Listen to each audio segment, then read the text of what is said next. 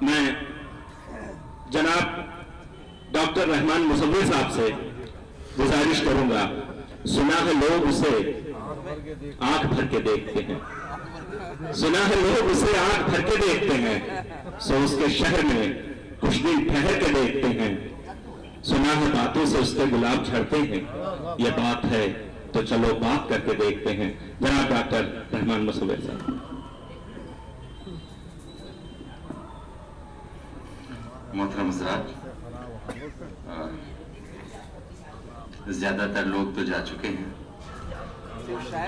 جی جن کو اپنا کلام پڑھنا ہے، باہر آ اور ایک مزیدار بات یہ ہے کہ جو لوگ یہاں بیٹھے ہوئے ہیں، وہ تو سن ہی رہے ہیں۔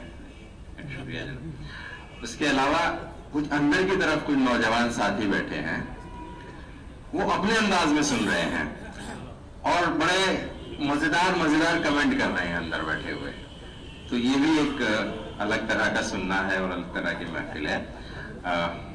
میں مبارکباد پیش کرتا ہوں محترم اصغر صاحب کو اور بسمل صاحب کو، جنہوں نے مجھے آنے کی دعوت دی۔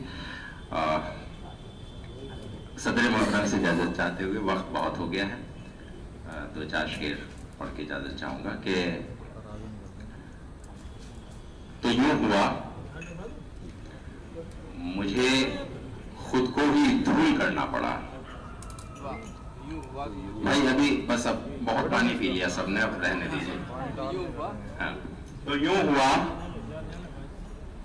موین بھائی اب ایسے نہیں میں نے بہت اچھے سنا آپ کو۔ ہاں موین قریشی صاحب۔ ایک موین کہنے سے تھوڑا سا کنفیوژن بھی ہوتا ہے بارہ جی۔ تو یہ ہوا مجھے خود کو ہی دھول کرنا پڑا۔ وہ جیسا تھا اسے ویسا قبول کرنا پڑا۔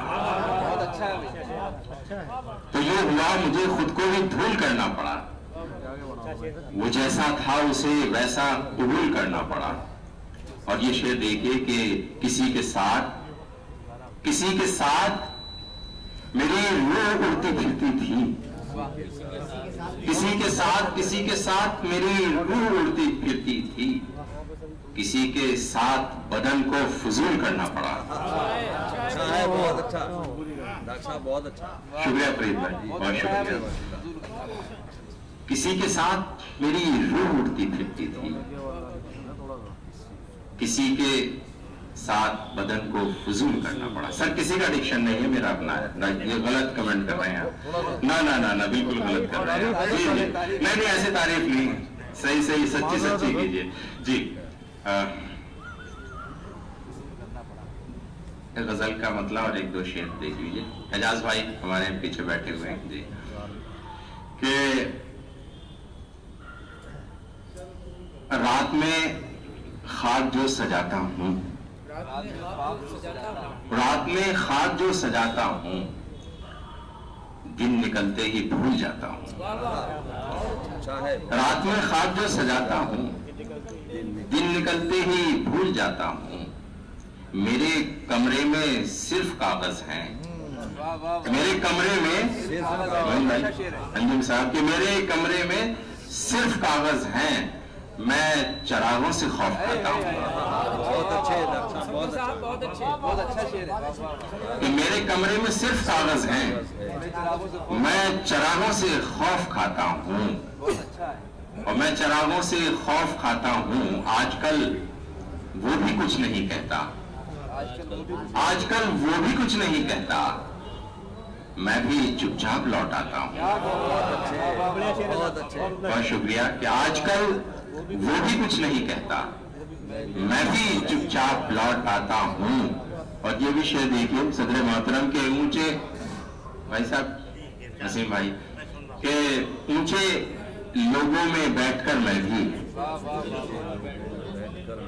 کہ اونچے لوگوں میں بیٹھ کر میں بھی اپنی اوقات بھول جاتا ہوں۔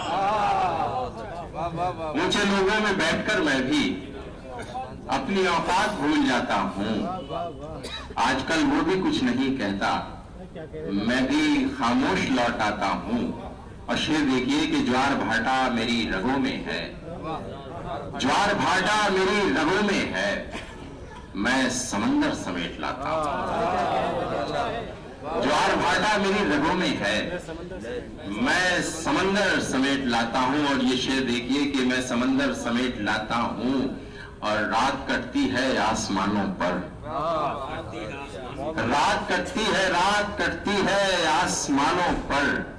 دن میں میں بکریاں چراتا ہوں۔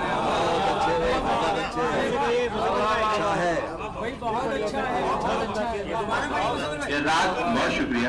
کہ رات کٹتی ہے آسمانوں پر۔ کہ رات کٹتی ہے آسمانوں پر۔ دن میں میں بکریاں چراتا ہوں۔ اور افسرائیں مجھے بلاتی ہیں۔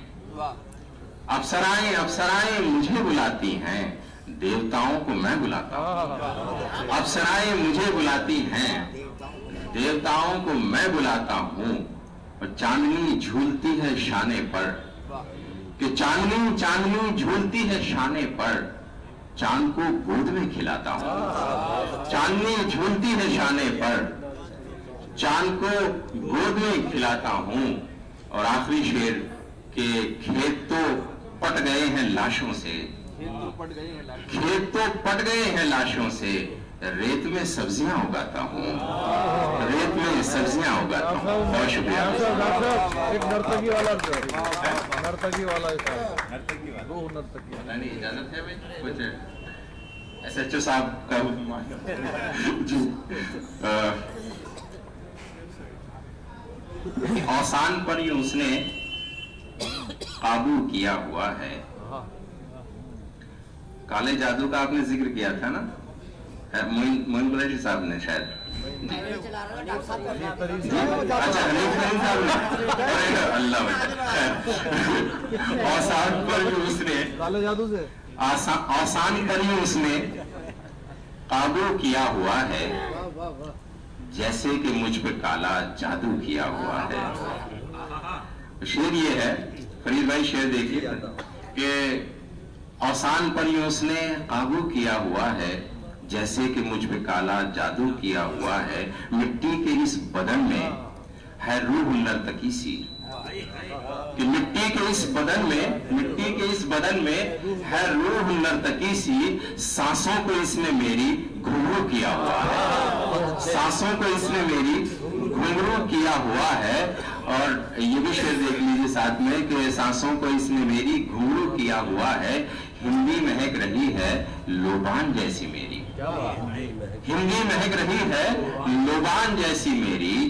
لہجے کو میں نے اپنے اردو کیا ہوا ہے۔ لہجے کو میں نے اپنے اردو کیا ہوا۔ شکریہ دوست